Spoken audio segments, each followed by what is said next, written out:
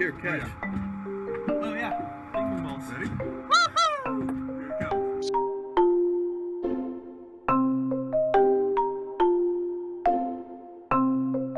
felt so charged. I was not nervous. I was, I was just normal, normal person going up into space, and that's what I wanted to feel. It's true. We had a six minute hold on the pad. And while I was like, are we going to go or not? what the hell? We're burning daylight. Let's go.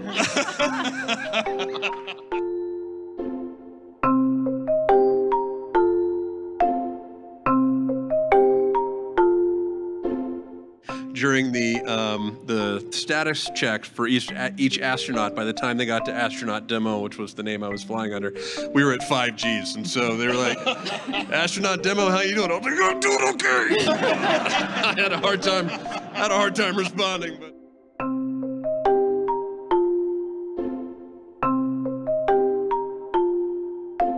We're going to build a road to space so that our kids and their kids can build the future. And we need to do that.